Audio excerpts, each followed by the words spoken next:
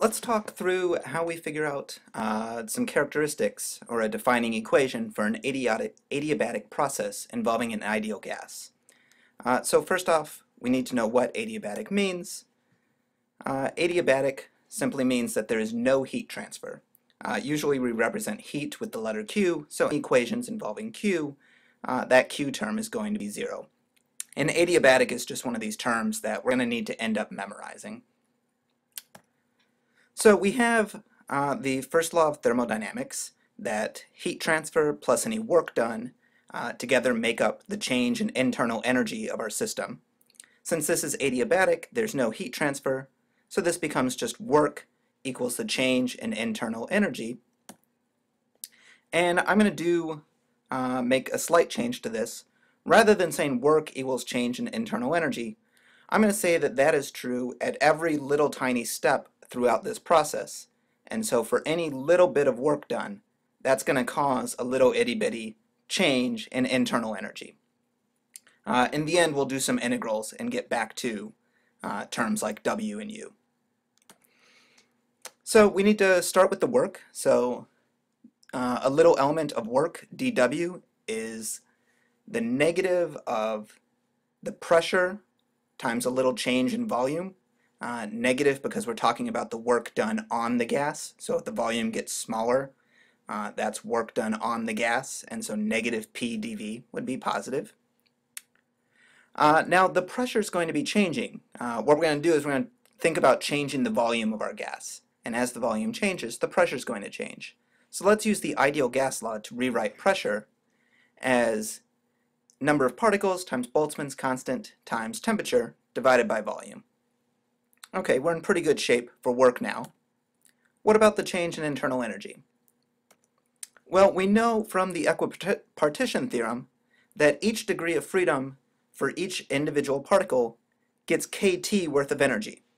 So I'm going to go ahead and assume that this is monatomic particles with three degrees of freedom.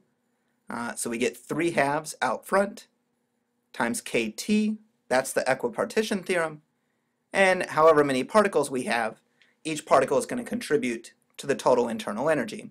So we have an expression for U. If we take the derivative of this, we can get an, ex an expression for du as just 3 halves nk dt. Okay, looking pretty good. All right, so let's go back to our du, dw equals du equation and plug in our expressions for dw and du. That gives us this expression here. And you notice there's a couple common terms. Uh, let's go ahead and cancel out the n and k that appear on both sides. And let's group some terms. We have dv and v on the same side, that's good. But we have a t, a temperature over here. I'd rather have it over here with the dt, so let's divide each side by temperature as well. Going through that, we get this expression, negative dv over v equals 3 halves dt over t. Uh, fairly simple looking equation, but we have these differentials, uh, dt and dv. I'd rather not have those, so let's integrate both sides of this equation. So we're going to integrate the volume from some initial volume to some final volume. We don't know what those are, but we're changing the volume. Uh, and as that volume changes, the temperature will change from some initial temperature to some final temperature. When we do this integral, if we integrate 1 over the variable, we're going to get some natural logs. And so we come out with a negative natural log final volume minus natural log initial volume equals 3 halves natural log final temperature minus natural log initial temperature. Now let's just do a little bit of algebra to clean this up. Uh, to do that, there's two relationships for natural logarithms that are very useful. Uh, one is that we can rewrite the difference of two natural logs as a ratio. That will let me combine the terms that are inside the brackets in our equation. Uh, another useful relationship is that c times the natural log of a is the same thing as the natural log of a raised to the c. So I'm going to use this second relation to bring this negative sign inside as a negative 1 power, and to bring this 3 halves inside as a 3 halves power. When I go through those steps, we get this expression, uh, so a little easier.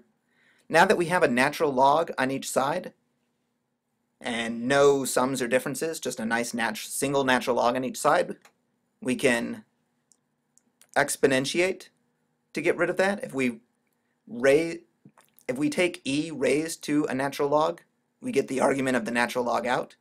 So I'm going to do e raised to the left side equals e raised to the right side. And we get this expression, no more natural logs. Uh, v final or v initial to the negative 1. Let's just rewrite that as v initial divided by v final. So now we're getting something that looks fairly simple, fairly easy to use. Uh, I'm just going to rearrange it one more step and get the final volume times the final temperature raised to the 3 halves equals the initial volume times the initial temperature raised to the 3 halves. And this is um, an equation describing any adiabatic process that involves an ideal gas. Uh, and in fact, this is true at any step along the process. When we did these integrals up here, we could have chosen any two points through the process, any two temperatures and any two volumes. And so at every point throughout the process, the initial volume times the initial temperature equal to, three, to the 3 halves is equal to the volume at that moment times the temperature at that moment raised to the 3 halves. And so occasionally in a textbook or online, you will see this written as just volume times temperature raised to the 3 halves equals a constant. Uh, so this is a nice expression for adiabatic gases. It helps us plot some curves, helps us uh, do some math and check if a process is adiabatic. Uh, those are some helpful things we'll want to do. Uh, before we wrap up, let's just review what the main steps of this uh, working through this problem were. Uh, we started out with the first law of thermodynamics, which relates heat transfer, work, and change in internal energy. We used the meaning of an adiabatic process to simplify that change in thermodynamics. Uh, and these, these steps that we're going through are common for a lot of different gas processes. So instead of an adiabatic process, maybe you're interested in an isothermal process. You would start with the first law of thermodynamics, think about what isothermal means, and use that to simplify your expression for the first law of thermodynamics. Uh, moving on, we wrote the first law in terms of dW and du rather than W and delta U. Uh, that lets us set up some nice expressions that we can then do the integrals at the end. We use the ideal gas law to rewrite pressure and the equipartition theorem to write an expression for internal energy.